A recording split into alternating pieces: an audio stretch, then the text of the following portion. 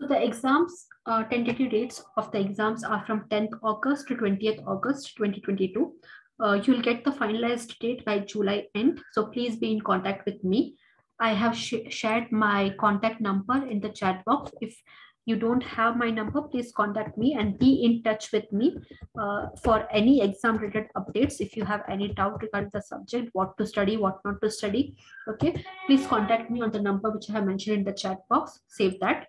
And we'll, I'll just briefly go about the important topics of Six Sigma Green Belt, uh, which you can focus more for your exam. Just take a screenshot of it, okay? Or if you want it in your in a message form, just contact me. I'll forward the same content to it to you.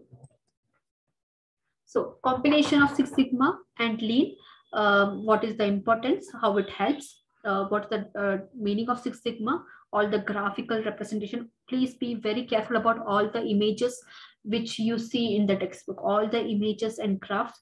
Be very careful. We'll show the same image. You may have to identify what's the context behind it. Okay, so lean process, types of Six Sigma, meaning of Six Sigma, what are the benefits, features, and myths of Six Sigma? Just go through it. Okay, some simple questions will be asked. It will be very relatable. You, you will find it very easy. Questions based on benefits, features, myths, and all. It will be very easy for you. Just go through it.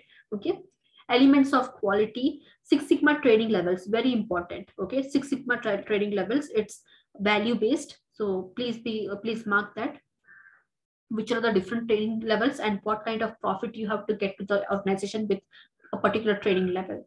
Concept of Six Sigma, Six Sigma organization from leadership uh, to the uh, to, to the team member, coach, sponsors, etc. What are their functions? Who all are there? What are their individual functions? Be very thorough in that. Then accounting cost, different types of cost, opportunity cost, variable, fixed, some examples will be given. You have to identify which kind of cost it may be. What is given the textbook only that examples will be used okay?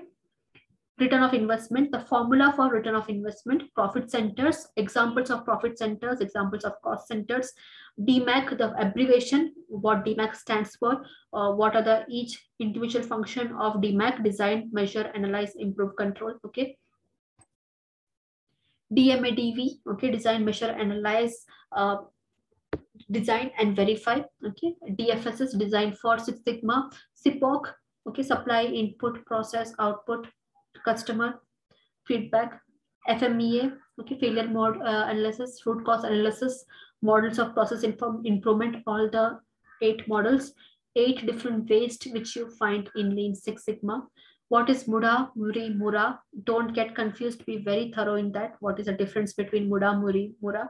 Okay to all the top 21 top management tools. Okay, in which phase of Six Sigma will you use this top management tools? Some graphs or images will be shown. You have to identify which kind of top man management tool is it. Okay, brainstorming, steps of brainstorming, guidelines of brainstorming, nominal group te technique, the five, five step in nominal group technique, Delphi method, again the steps in Delphi method, Diffels metric formula, which we have discussed just now. Okay, the formula, just understand the formula, just by heart the formula, that's it. Types of data, quantitative, qualitative, nominal, uh, binary, okay, all what you have discussed just now. Sampling methods, only the examples, okay. Explanation of examples are not given, just a list of examples are given. Be thorough in that. Mean, median, mode, range, formula again. And you, uh, some uh, some very simple calculations will be given. You just have to do simple calculation. Just be careful on that. Keep a calculator with you. Nominal distribution curve, the uh, basics of uh, nominal distribution curve, uh, the area covered by the curve, that is one unit, 68% under one standard deviation, etc. Be thorough in that. Just go through the glossary. Okay, that's it. These are the sample questions. Just i'm showing just two sample questions. Okay this kind of questions you can expect. So the first question is critical uh, tree uh, to quality tree. Okay critical to quality tree ctq is used in which phase of DMAIC it's used in the design phase. Okay so you should know which phase which top, uh, top management tool has to be used. It's given the textbook just follow that. Under which sampling method, snowball sampling will fall. If you have been uh, reading this, if you have understood the list of sampling method, you would know that it is it snowball sampling comes under non-probability sampling technique. Okay, so these are the types of sample questions you uh, like this type of questions we can expect in the exam.